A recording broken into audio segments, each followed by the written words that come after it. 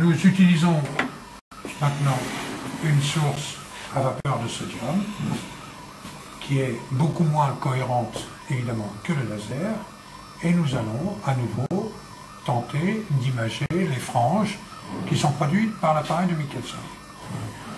Nous allons observer en fait des anneaux, donc le réglage du faisceau incident est tel qu'il fournisse un faisceau convergent.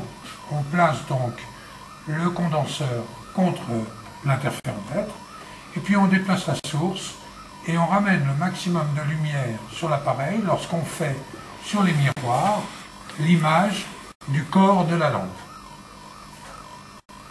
On observe alors sur l'écran, je vais éteindre la lumière, nous observons sur l'écran des anneaux de très grande dimension et qui sont ovalisés. Alors, ça veut dire, si nous observons des anneaux, ça veut dire que nous ne sommes pas à la différence de marche nulle, d'une part. Ovalisé, cela veut dire que la compensatrice est mal réglée. Et il est très pratique de régler la compensatrice en observant les anneaux en lumière du sodium. On peut d'ailleurs se déplacer légèrement en augmentant la différence de marche et bien visualiser euh, les ellipses. Le réglage. Le réglage se conduit de la façon suivante. Premier réglage, il est impératif de suivre l'ordre. Premier réglage, c'est le réglage dit trappe, car à axe horizontal, qui permet de choisir les axes de l'ellipse. Donc je choisis un grand axe vertical, et ensuite le réglage porte, c'est-à-dire un réglage qui agit avec un axe vertical, permet de supprimer l'ellipticité. Alors ces réglages sont délicats, ils doivent se faire par approximation successive. Plus on est près de delta égale 0, plus les défauts sont perceptibles.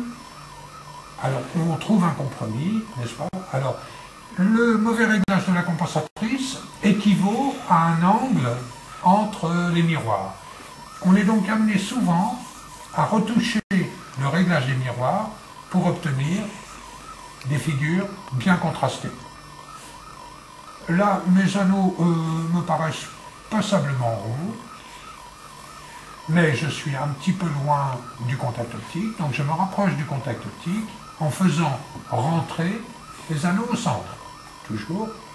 Et puis, apparemment, les anneaux sont corrects. Le bon critère, c'est de traverser le contact optique et d'observer les anneaux de l'autre côté, parce que cette action inverse les axes de l'ellipse.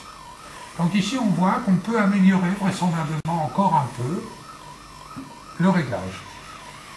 Et puis, euh, euh, on passe le temps qu'il faut, mais euh, il faut se souvenir que souvent, le mieux est l'ennemi du bien. revenir donc au contact optique en faisant rentrer les anneaux au centre.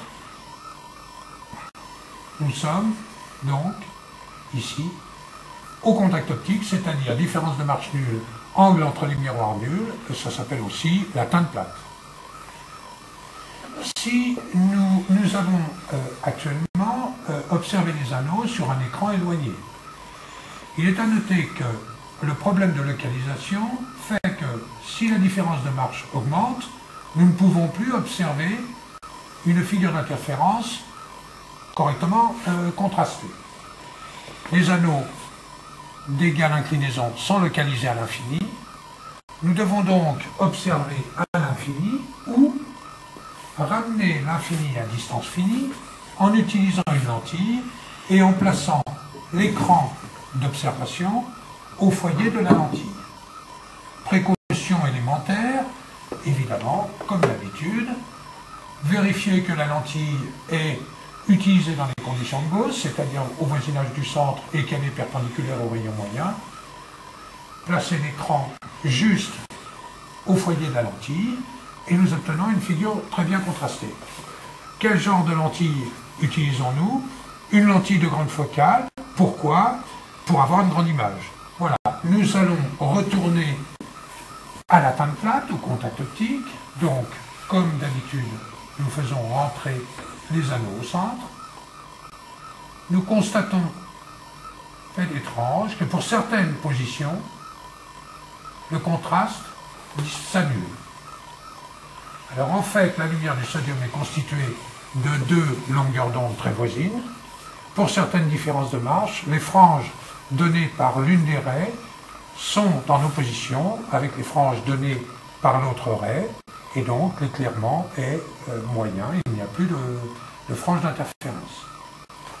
Si nous continuons à charioter dans le sens qui rapproche le miroir du contact optique, nous constatons que nous retrouvons un beau contraste.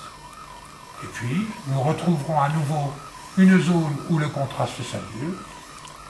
Ces zones où le contraste s'annule sont appelées les anticoïncidences. Elles servent à la mesure de l'écart de longueur d'onde entre les deux raies du sodium, le delta lambda du sodium. Continuons à faire rentrer les anneaux au centre.